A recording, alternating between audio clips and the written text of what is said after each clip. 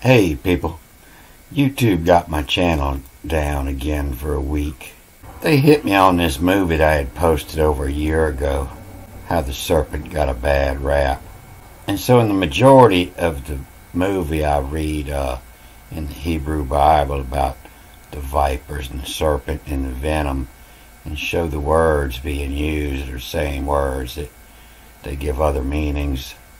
And then at the end, I read one line off of this report from the Global Preparedness Monitoring Board. This is all the World Health Organizations get together. They practice for global preparedness, and uh, and they have drills of health crises. Then they put this report out every year in September, October or so, and tell what they're planning for the next year. And I had read a line off of the September 2019 report. But you go to gpmb.org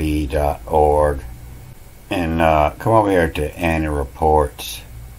And you click on this annual report 2019, the one that's got the, the flu virus on the front of it. And you come on down here and download the whole report.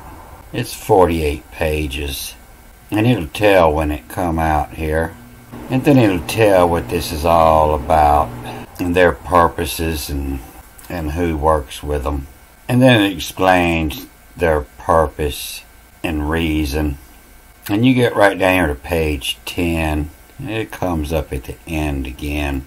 And this is what I had read where it says you know the progress indicators by September 2020 is that the United Nations, including the WHO, conducts at least two system wide training and simulation exercises, including one for covering the deliberate release of a lethal respiratory pathogen. And that's all I did. I read that line and uh, joked about it as being probably something to do with what was going on Jock Tear's page on Facebook. And then I went on to read this quote from Jacques Attali from the 1981 Bilderberg, and I laughed about him, about the connection that was there. And you can't do that.